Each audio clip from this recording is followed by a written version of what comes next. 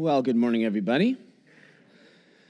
And welcome back to week three of our fall series, uh, which are, we are calling Discipline Equals Freedom. And I've taken the name of this series from a book by the same name uh, by this guy, real life superhero Jocko Willink, who is a former Navy SEAL, jiu jitsu guy right now, uh, specializes in sort of motivational speaking and leadership development. And, and one of his key emphases in his life's work is to advocate for discipline in the, self, in the sense of a self discipline and reminding us that this is really the path forward in terms of all sorts of uh, uh, ways of success in life. So, this is week three of this. So, we took the first two weeks and I kind of did a general introduction to this series.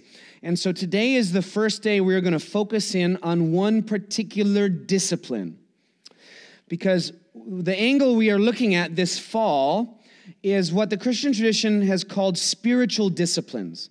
And these are spiritual practices or spiritual habits, activities, deliberate things we can build into our lives that the Bible or the Christian tradition has said if you do these things, this will help you to grow spiritually. So these are not things that automatically transform us, automatically bring us closer to God, but these spiritual disciplines or habits are, are ways of placing ourselves where God's Spirit will best bring forth transformation in us. And so we're going to look at the first specific discipline this week that we're going to focus on. And this first week, it's going to be the, the habit or the practice of solitude. Solitude, meaning being alone. And so I, I was thinking this week about uh, this guy who I'm kind of drawing upon for a theme, and I, and I wondered. Uh, I wondered if I could find this sort of theme in his life experience. And so I was interested to see. Uh, look on the screen here. Here's a bunch of tweets I just looked at. I took his last month of tweets. I just took some screenshots here. And what he will often do in the morning, because he advocates everybody to live with discipline and work out hard every day. So when he gets up in the morning, he'll take a picture of his wristwatch and tweet it out saying, All right, I'm up and moving doing his morning workout. What times we got here? 414, 430, 416, 428.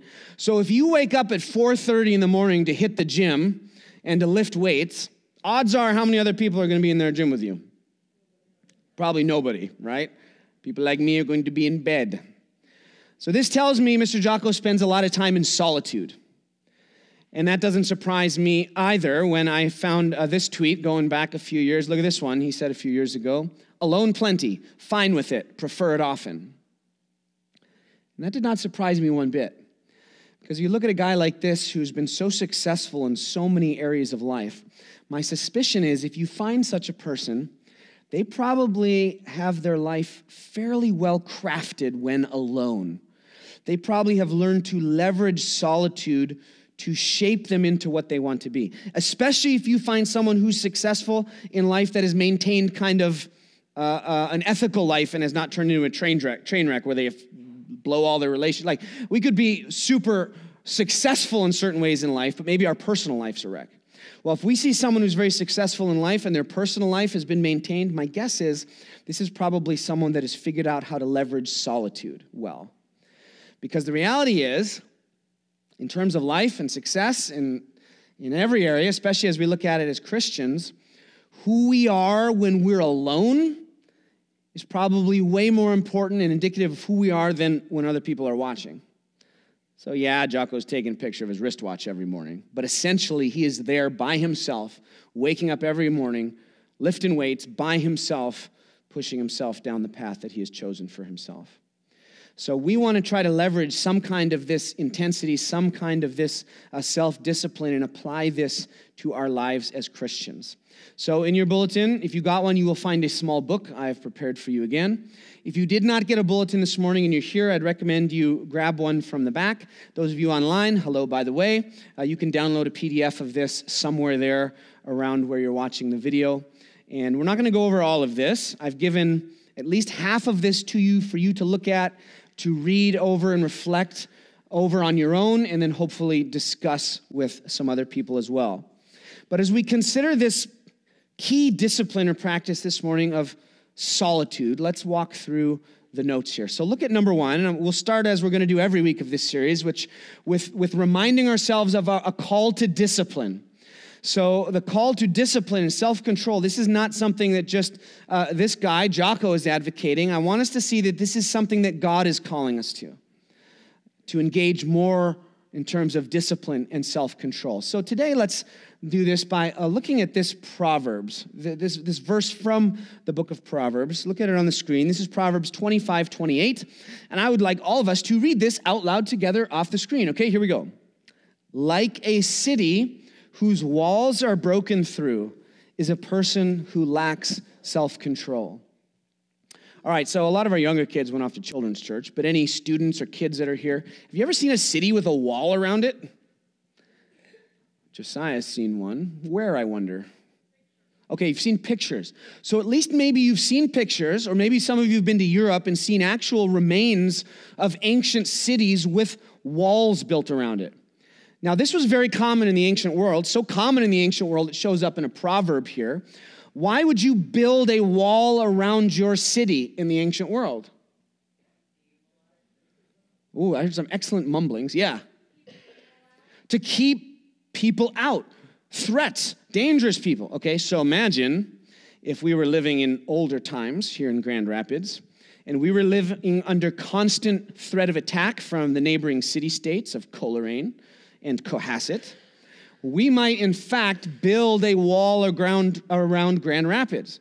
So if the unwashed barbarians from the neighboring towns come attacking Grand Rapids, all the little villages and, and huts can empty, and we would all gather inside the city. And so, if you are an attacking army and you're attacking the city and they've got a wall around it and everybody's fled inside, they're up on the walls with like bows and arrows and boiling oil and rocks. What's the big thing you have to get through first and foremost if you're going to deal with this city? You got to take out that wall. So, there's a whole technology in the ancient world of trying to get through the walls of cities. You can try to shoot stuff at the walls to knock it down. You can make little roofs and and like have a battering ram to try to take down a gate, which is going to be the weakest point. You can try to dig under it. So, what happens to a city if its walls get broken through in a siege, particularly in the ancient world? By the time they fight their way through a wall, is the attacking army happy and like you, or are they unhappy and don't like you? They're tired of being shot at and having burning oil burned on them. So, in the ancient wall, if they break through the walls of your city, what happens to you? You either die or you get sold as a slave. That's it. So, notice this is not a little academic metaphor that the author of Proverbs is drawing upon. He's tapping in a primal fear of ancient life. Where they knew very well what would happen if a city wall gets broken through. And your life is over, you're ruined, you're shot. And so notice the, the wisdom teacher here has taken this image and said, look, if you live without self control, without the ability to control yourself, to choose your reactions and to choose your actions, if you don't have self control, you're like a city whose wall has just been punctured, wide open, exposed, and you're about to get cooked. And so, this is a call for us to practice self control. And this is really what Jocko means when he talks about discipline. And so this is not just good advice, but this is actually a truth of what God has said to us in the scriptures. This is one of the fruits of the Holy Spirit, one of the things the Holy Spirit wants to bring out in us because self control will protect us from all sorts of problems relationally, health wise, uh, socially, uh, financially, and most important of all, spiritually. Okay, so let's move on to part two then and remind ourselves what is the model of the spiritual life we're working with this fall? A lot of different ways we could think about this, but look at this image on the screen.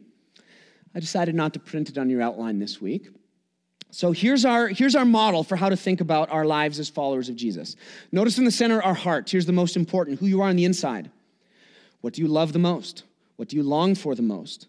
Do you love God? Do you desire Him above all else in your heart? Okay, there's the key. Notice we have this horizontal line pushing us this way with an arrow. We have a direction. If you're a follower in Jesus, you are supposed to do certain things. You're supposed to represent Jesus. You're supposed to show his sort of lifestyle to others. You're to carry the message of the kingdom. There's things we're supposed to do as followers of Jesus. And in Christian thinking, this flows out of being who we are over here. In other words, you become a believer in Jesus. Spiritually, you are united with Him. You are buried with Him in baptism. It's like you have died with Him, like we saw today. Come out of the water, Paul writes, it's like being raised back to life. This is a picture of the spiritual death and life we experience when we become one with Jesus. So now, what defines you is not all the normal things about you, but primarily now you have died and raised with Jesus. You are now one with Jesus. This is who you are. And so your Christian life becomes about trying to live that out in practice. Well, how do we do that? Well, notice the circle. Here's the mechanism we're going to suggest of how this works. Notice at the bottom, desires. What do you want? What do you want the most? Do you want God the most? Do you desire His kingdom the most? Or do you love mini golf the most? Or whatever. Insert your stuff. So notice if you have these desires to live for God and to seek Him, this is going to lead to certain practices, habits, and activities and what are these habits and, practi- and activities going to do? Well, notice it's going to increase your desire for God. So here's a reinforcing cycle. And in this fall, we're focusing up here on top at these practices or habits. What are the things we can actually do that will get this circle rolling for us? What can we do that will place us in the position where God's Spirit will bring forth the growth and transformation that we want? So that's where we're headed. And so we're going to be looking and zooming in on various specific practices or disciplines this fall. And with a kind of experimental attitude, we will try to practice them during the week. And some of these things, if you've been a Christian for a long time, you've done this a lot. Uh, some of you, if you've been a Christian a long time, some of these will be new to you. And so we're going to try to take an attitude of experimentation with these, try these together, and we will observe and see what sort of uh, positive fruit it has in our lives. And everybody's a little different, so some things will connect uh, with some people more than others. Okay, I think that's all I want to say about that. Look at part three. We're going to zero in on this discipline of solitude. With kids, solitude, fancy word, means being alone. Yes, yes, being alone. So, we're not going to read all of this. Look at the first little paragraph there under point three, just the first two lines. Solitude is the spiritual discipline of voluntarily and temporarily withdrawing to privacy for spiritual purposes. Okay, so this could be a short time, it could be a long time, but the essential idea is we're going to draw away from other people into privacy, and this is not just to just to um, you know relax. It's not to read a book or to do other some some hobby. Those can all be valuable, they can even be valuable spiritually, but this is a particular focusing type of solitude. It's for spiritual reasons, to intentionally separate ourselves from other people in privacy, so it's just us and God, for the purpose of trying to grow spiritually. Skip that next one, drop down to the third one. Look at this description. Solitude is a container discipline for the practice of other spiritual disciplines. Okay, so it's true practicing solitude like this, getting away from other people and focusing our mind on who we are with everything else stripped away before God. This has some great merit all on its own. But solitude as well is so important because, as she calls it here, this is a container discipline for a bunch of these other practices. So it's true, some spiritual disciplines are communal that need other people. So you come together to worship with other people. If you're going to confess your sins to someone, you need another person. A fellowship is people together. Uh, um, a prayer group is a group of other people. But plenty of the spiritual disciplines must be practiced alone because it is essentially between you and God. And so this is going to necessitate solitude. So, on one hand, this is a very foundational practice for us because it's going to lay a base for a bunch of the other disciplines we will engage in. So look at the last quote under point, point three. This guy writes Of all the disciplines of abstinence, solitude is generally the most fundamental in the beginning of the spiritual life, and it must be returned to again and again as that life develops. That guy will split up all spiritual disciplines into two categories of abstinence and engagement. A discipline of abstinence is us pulling away from some normal thing, which may be good, but for the purposes of spiritual growth, we pull away. Uh, there's also what he calls uh, uh, disciplines of engagement. So these are things we do. So fasting would be a, uh, a discipline of abstinence. We give up food for a time for spiritual reasons. The opposite discipline, discipline of engagement is celebration or feasting, deliberately going in to eat with spiritual purposes. And so he suggests that of all the ones of abstinence, and other people will say of all spiritual disciplines, a solitude is the most foundational, or one of the most foundational, which is why I decided to start with it. So let's see what we can see about this in the scriptures. Uh, unsurprisingly, we'll see this in the lives of people in the Bible, and in fact, in the life of the most important person in the Bible. So look at, look at part four here. Uh, notice Jesus in solitude. Look at a bunch of passages I gave you where we see Jesus practicing uh, this habit of solitude, of being alone. We won't look at that first one in Mark 1. We've already talked about that. That is Jesus' time alone in the wilderness. He goes off by himself for 40 days. Uh, drop down to the next one. Look on the screen at Mark 1:35. Very early in the morning, while it was still dark, Jesus got up, left the house, and went off to a solitary place where he prayed. Jesus had a Twitter feed. He could take a picture of his wristwatch, put it up there, back on the path. Okay, so notice, Jesus gets up super early. He didn't have to do that. Bed's nicer. It always hurts to get up early. Notice he gets up early while it's still dark. Notice he leaves the house, went off to a solitary place, and prayed. Now, he could have prayed in the house, he could have prayed with his friends, but there's something driving him, something that he valued about leaving and going out where he was alone to practice this. Well, we'll keep going. Verse 36 Simon and his companions went to look for him. And when they found, they went to look for him, we got to find him. Where'd he go? When they found him, they exclaimed, Everyone is looking for you. Now, if you're Simon Peter, is that a yay thing or a boo thing? All right, if you're Simon Peter, you love this because this is Mr. Publicist. It's like, okay, finally getting traction. Jesus, finally you're getting the attention you deserve. Come on, everyone's looking for you. Jesus, you got to get to him. Got to butter him up a little bit. Give him some attention. Look what Jesus says, verse 38. Jesus replied, Let us go somewhere else, to the nearby villages, so I can preach there also. That is why I've come. So he traveled throughout Galilee, preaching in their synagogues and driving out demons. So notice it could have been real easy for Jesus just to give in to the attention, stay right there, make that his base. But he had enough of a connection with God the Father that he knew that was not his mission. He had a different path, and he was strong enough to say no to what those people wanted there, to follow the path he knew God had for him.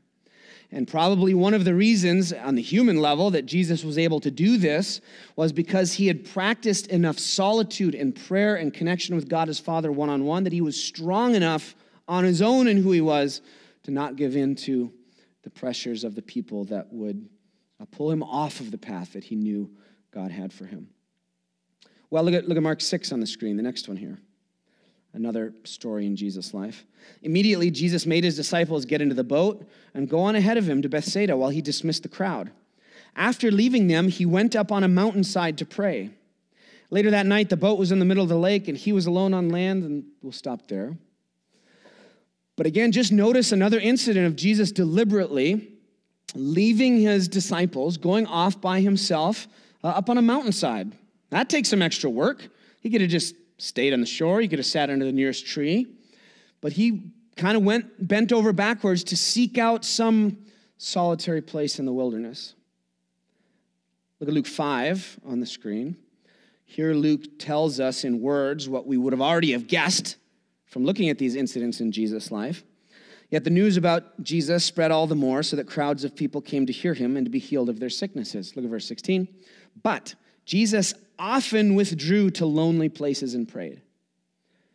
So here we see this identified, yes, in fact, as a pattern of Jesus' life. This is something he often did pray, yes, but particularly went off by himself to pray, sought out some lonely place, some empty place. That's super interesting because we'd say, Who is Jesus? Jesus is God. Jesus is the Son of God. Jesus is divine, okay? But notice as well, we believe that there's one God and three persons the Father, Son, and Spirit. So Jesus is divine. But notice he is not the Father, he is a separate person from the Father, a distinct person. And God the Son God, the human, Jesus, knew that he lived in dependence on God his Father. And this is the one that he needed to spend time with and draw strength from. And so we see Jesus, the Son of God, leaving other responsibilities and seeking out this solitude to connect with his Father. Look at Luke 6 on the screen. One of those days, Jesus went out to a mountainside to pray, because of course, and spent the night praying to God all night long on the mountain. This is also a spiritual discipline. I forget what it's called in the Christian tradition. Maybe keeping watch. Could be it. He spent the night praying to God. When the morning came, he called his disciples to him and chose 12 of them, who he designated apostles. Now, is that like a significant moment in Jesus' life? Is that a strategic moment? Yeah, it sure is. And so notice what precedes it him going off by himself all night long, giving up sleep to be alone. And one of these books said this is one of the ways that some people have found to find solitude is deliberately waking up in the middle of the night for times of prayer when everyone else is asleep and then going back to sleep. Uh, interesting.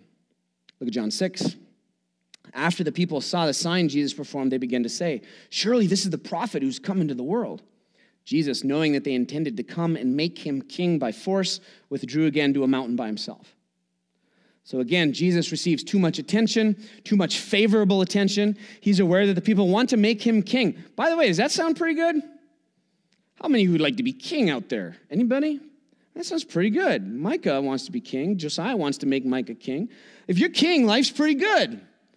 Would you like to be a queen? That sounds great.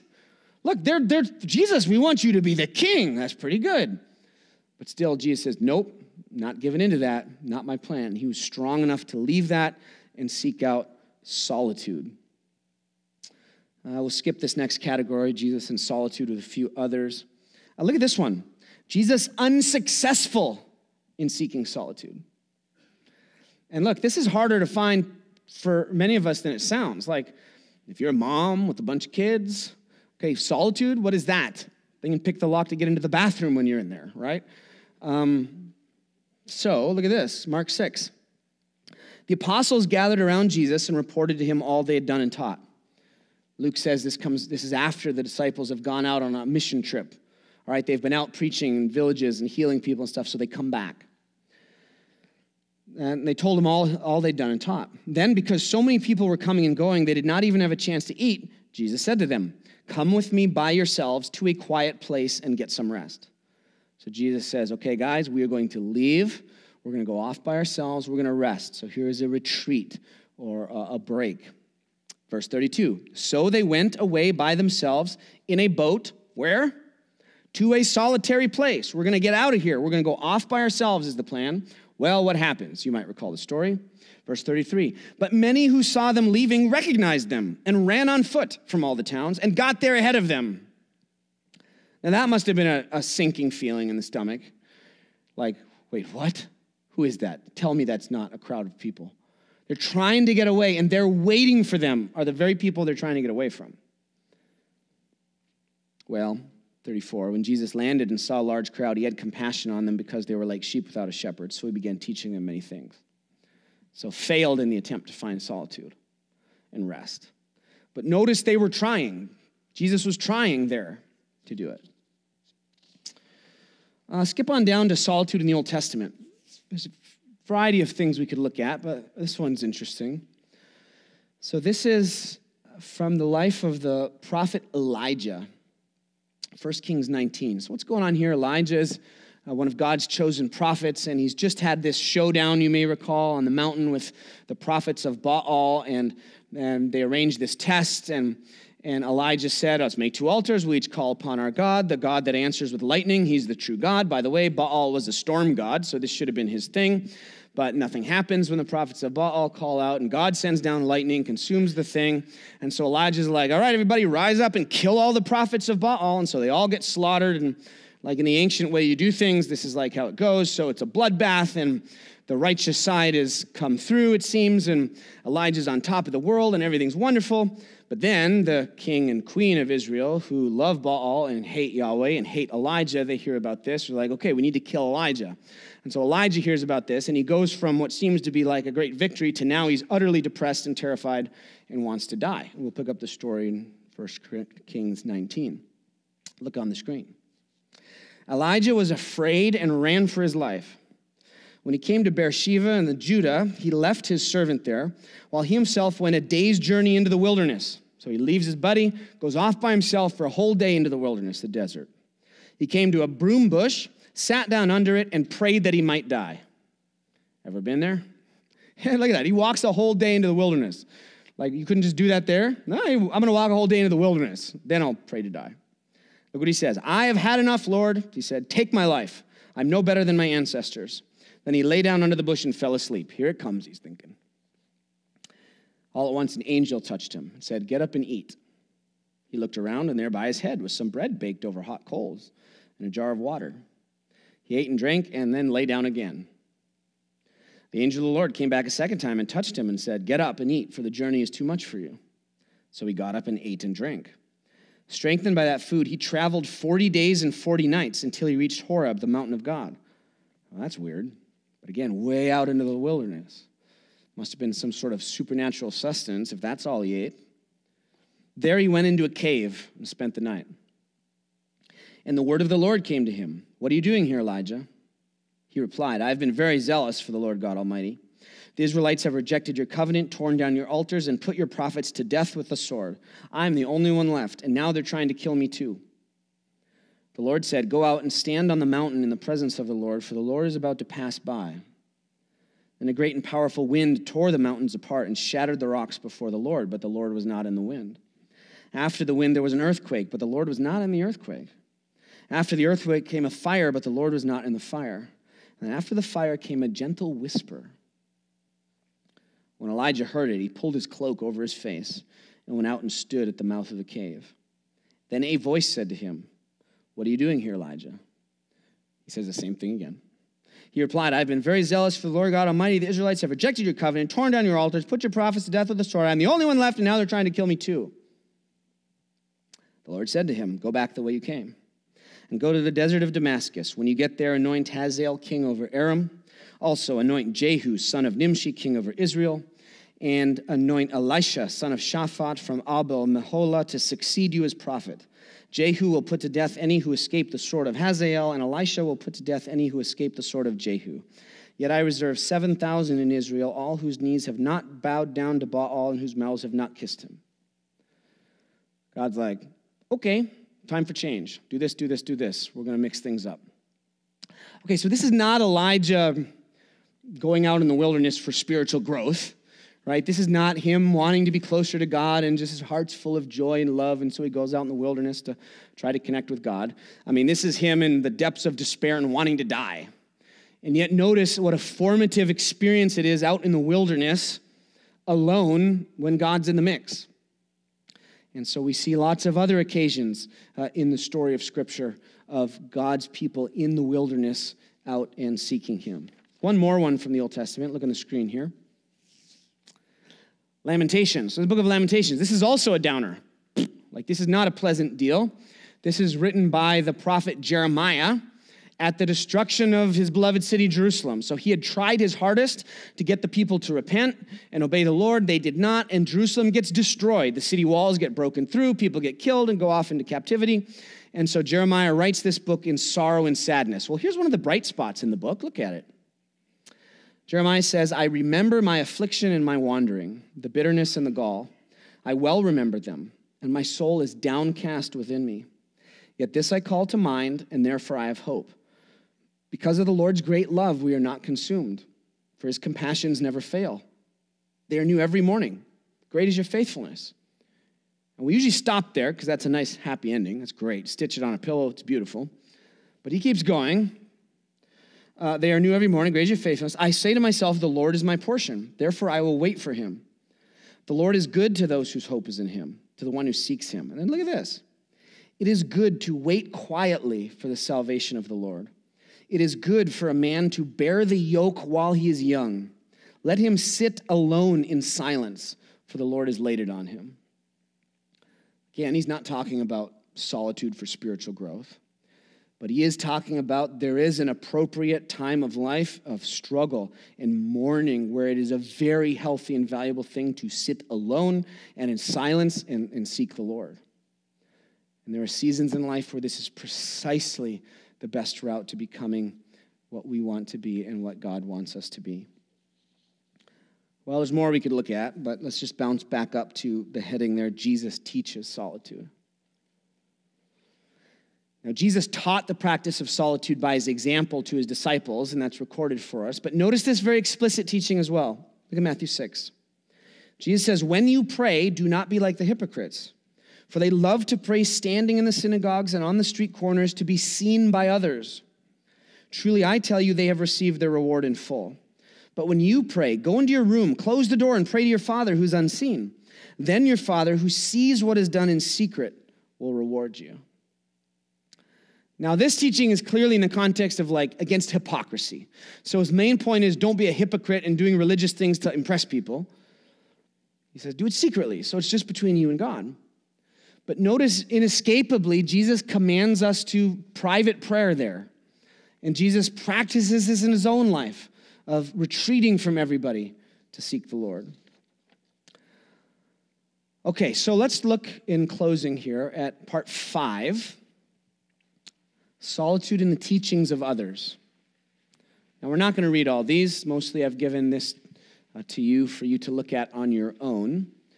Just look at a couple of these. Look at this first paragraph. This guy writes this Solitude frees us. The normal day to day human interactions locks us into patterns of feeling, thought, and action that are geared to a world set against God. Nothing but solitude can allow the development of a freedom from the ingrained behaviors that hinder our integration into God's order. So our lives are so pressured, so busy, so squeezed by everything. He's suggesting to us one of the ways of freedom is deliberate solitude. And notice this is not just being by yourself so you can worry about your problems. It's not just being by yourself so you can keep thinking about all the things you do. But this is seeking out solitude to try to shed as much as we can uh, these pressures from other people, all the worries that come down on us, and try to just isolate kind of who we are as ourselves in the presence of God. So it's a way to try to step back from all the things that usually fill our mind, or at least bring those things perhaps to God in solitude.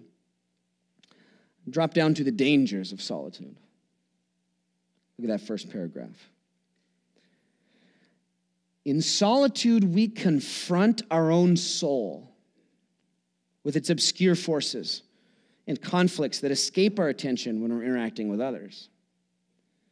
Thus, he quotes someone, solitude is a terrible trial, for it serves to crack open and burst apart the shell of our superficial securities. It opens us out it opens out to us the unknown abyss that we all carry within us and discloses the fact that these abysses are haunted. When we're so busy with people, we're so busy with the next thing, and all we do is play music like me, one song after another. If something's worth doing, it's worth doing, listening to music. We can just bury all the hard things. We can just avoid asking ourselves the difficult questions about ourselves. We can try to avoid dealing with our dysfunctions and our brokenness. We can try to just ignore the hurts that really do haunt us, but we just keep it covered over.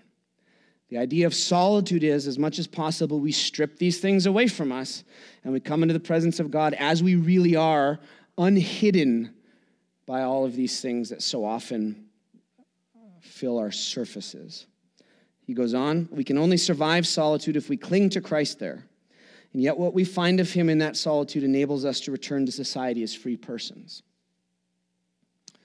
Okay, but what if you're an introvert and you love being alone?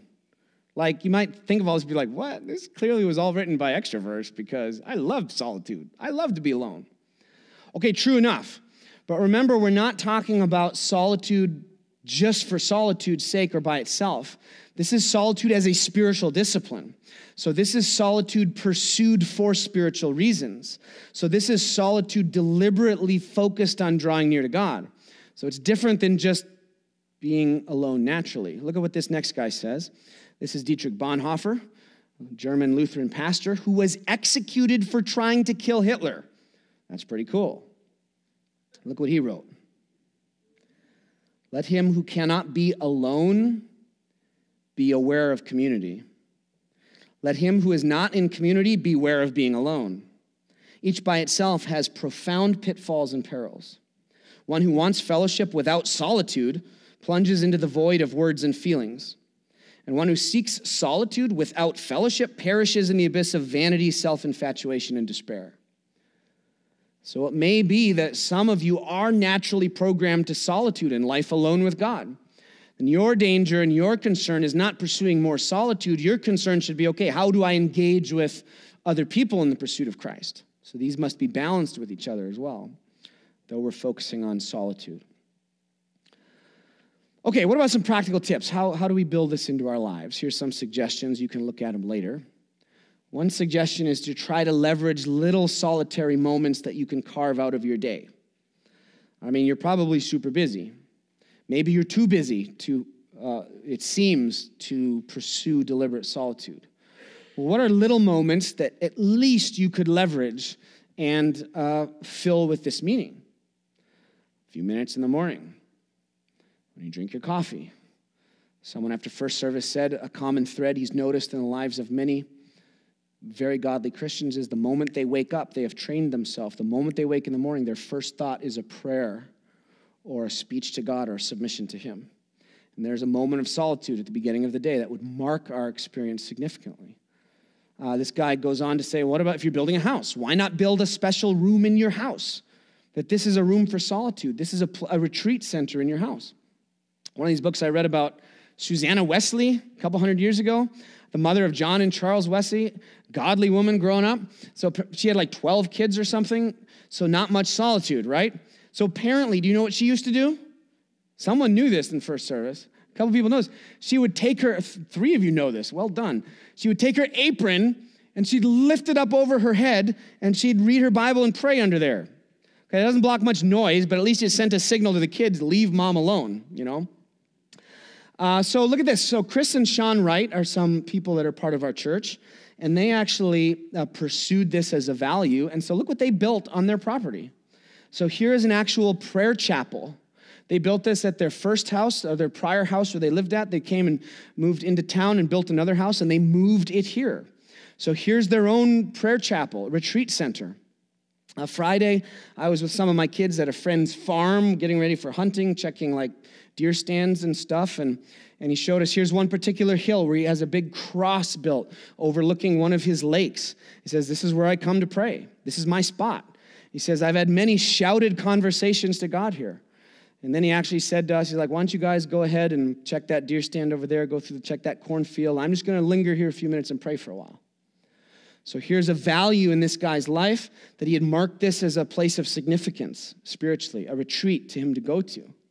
So think about that. Yes, leverage little moments, but why not try to establish some special places? And look, we have some significant advantages here in northern Minnesota compared to somebody, say, living in downtown Manhattan. Where did Jesus typically go for solitude? Out in the wilderness. Well, that might have some merit, right? And part of the year, at least, we could do that. All of the year, we could do that if we wear the right clothes. So, look here at our training plan, I've called it. What I want you to do is to experiment with this this week. I would like you to try to engage in some deliberate time of solitude beyond whatever you might normally do. And again, not, not only do we mean just being alone and doing something else, but actually seeking out solitude with a focus on God for spiritual reasons. And I've given you four different levels of commitment with this, depending on how much you want to put into this, how much time you want to spend. Uh, if you flip over to page five, Later in this handout, I've given you the entire entry on solitude from this other book, um, Handbook of Spiritual Disciplines, for you to read more about solitude. And she has suggested four spiritual exercises down at the bottom. And so the four different levels that I'm challenging you to to pick one is going to be simply uh, using one of these, or two of these, or three of these, or all four of these spiritual exercises. And notice the fourth one is a full half day retreat where you carve out your schedule half a day to go and pursue solitude. And um, so I want you to look that over and, and think about okay, which one of these do you wish to pursue this week? And solitude in ways will you'll have more to do later on as we add more spiritual disciplines to this. That's one hesitancy I had about doing this first. Because to a great degree, right, solitude is, she said, a container discipline. So while you're in solitude, yes, as solitude, but also here we meditate on scripture. Here we pray. Here we, and we haven't covered all of those things. So you may not know what to do to fill your time unless you've been a believer a long time, you've done some of these other things. If you don't know what to do, just go and be alone with God. Watch your thoughts, watch where they go. Where do you immediately start thinking about? Bring them back to God. It goes over here. Okay, bring it back. No, I'm here talking to God. I'm thinking about God. You can read the Bible, you can pray. And it'll be interesting to see how that goes. So we're going to sing a song. Why don't you guys stand up? Think these over. Uh, look it over today. And uh, notice as well, I'm challenging you to think about finding one other person or a group of people to discuss your experience with. And I've given you a discussion guide uh, along those lines as well. Today we zeroed in on the, the first of these spiritual disciplines we will focus on and experiment with this fall and solitude. Uh, we started out by looking at this proverb in a call to discipline where it says, like a city whose walls are broken down is a person without discipline, without self control. And so, if we are lacking this fruit of the Spirit, if we are lacking this work of God in our lives, we're going to be vulnerable to all sorts of things. Well, how do we get more self control? well, ultimately, we can't just conjure it up and say, well, today I'm going to be more self controlled exactly. But what we can do is do what we can to say, Lord, bring this out in me. Help me to place myself where you can develop this more in me. And as we engage in practices like solitude, this will be a rolling, reinforcing cycle that We'll be better at self control, and the self control will help us be better at the disciplines, and we'll, by God's mercy, grow and accomplish uh, those things He has for us. So don't forget those training plan options. I want you to engage with solitude uh, this week. Specific, deliberate solitude beyond whatever might be normal for you for the purpose of uh, drawing near to God. Let's remind ourselves of this guy, Jocko, all month long, up early, showing us that's his goals health, focus, strength, working out every day, getting up before everybody else, intensity, and he's living it. So, what do you know? Not long after I got up this morning, a new tweet came on. Here he is this morning. What time was Jocko up this morning? Look at that. 4:33 this morning, hitting his workout. Now, Josiah noticed his day, his watch is like a day ahead, so I don't know what's going on with that. But what we want to do is try to capture some part, I think, of this intensity that he shows towards his goals and apply this to our goals, namely the spiritual life, knowing Jesus and growing in him. So, go out into the world in peace, have courage, hold on to what is good, repay no one evil for evil, strengthen the faint hearted, support the weak, help the afflicted, honor everyone Love and serve the Lord, rejoicing in the power of the Holy Spirit. And may the blessing of God Almighty, the Father, the Son, and the Holy Spirit be among you and remain with you always. Amen.